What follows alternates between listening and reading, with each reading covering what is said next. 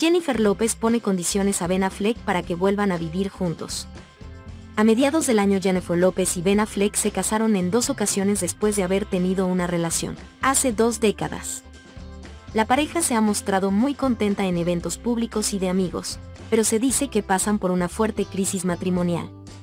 También se ha dado a conocer que los actores tuvieron discusiones, provocando que Affleck a dejar la casa que comparten como matrimonio y aunque ahora quiere regresar, la diva del Bronx le puso una serie de condiciones para volver a la mansión, la cual era propiedad de Gianni DeVito y está ubicada en una zona exclusiva de Los Ángeles.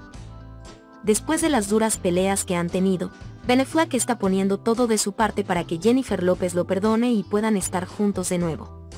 Uno de los factores que lo alejó fue que López quería llevar el control de la relación. Condiciones que puso Jennifer López a Ben Affleck.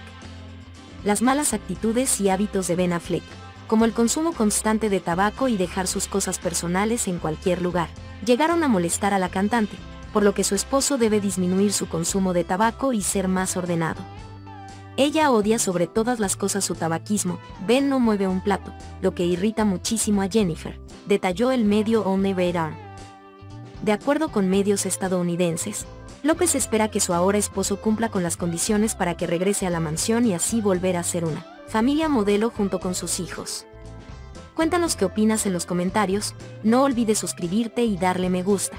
Nos vemos en un próximo video.